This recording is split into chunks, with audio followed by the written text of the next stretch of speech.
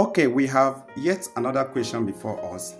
A rectangular pyramid has an area 24 cm cube, 24 cm square rather, and height 7.5 cm.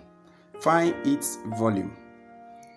A rectangular pyramid has an area 24 cm square and height 7.5 cm. Find its volume.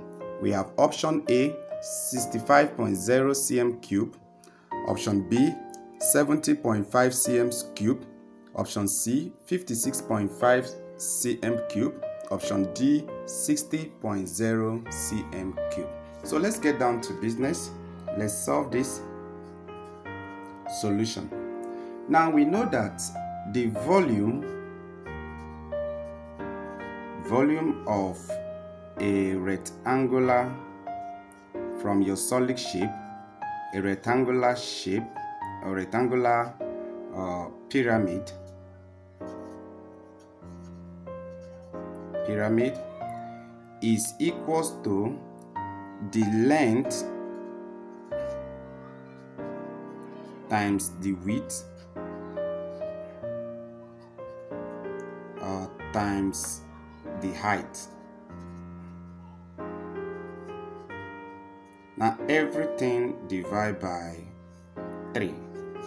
So we have, uh, so that is the same thing as having if our length is L, our width is W, our height is H, which is all over 3.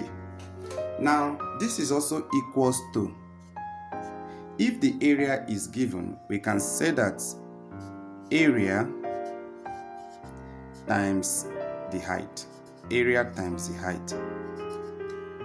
Times the height. Divide by 3 because we know that length times width is still the same as area for a rectangular shape. So the the, the base the base of the uh, pyramid then times the height of the pyramid. Since it's a, a rectangular pyramid. So that will be equals to. Now we know the area from the equation. The area is 24 cm square times the height. The height is 7.5 cm.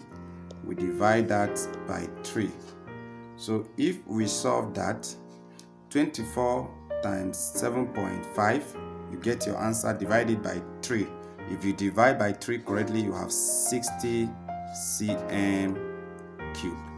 So cube because we are dealing with our volume. So that is the answer to that question. And if you check the correct option there is d option. D is the correct option. This option d is the correct option. So that is that for that question